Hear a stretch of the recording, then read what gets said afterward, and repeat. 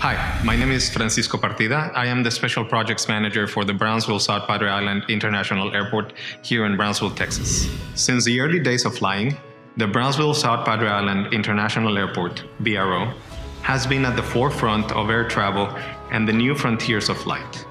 Shortly after its inauguration in 1929, BRO quickly became a leader in air travel, with Pan American Airways establishing their hub for Latin America, earning this airport the nickname of Crossroad of the Hemisphere.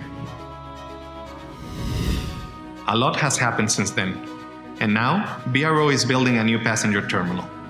With four gates, ample space, and the ability to expand in the future, this modern, efficient, 91,000 square feet building will better serve the travel needs of visitors and residents alike.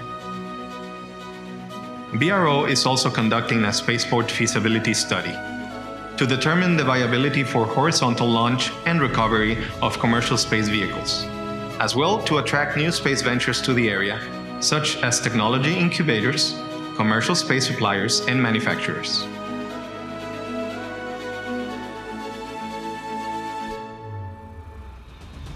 With this new terminal and the proposed capabilities for horizontal space launch, along with the vertical launches conducted at SpaceX facilities on Boca Chica, we are once again poised to be a worldwide leader in flight.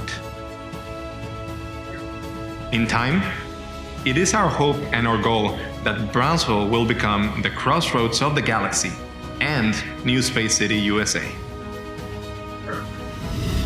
From all of us here at the Brownsville South Padre Island International Airport, we want to thank you for joining us watching this video and to celebrate Give Me Some Space this National Space Day.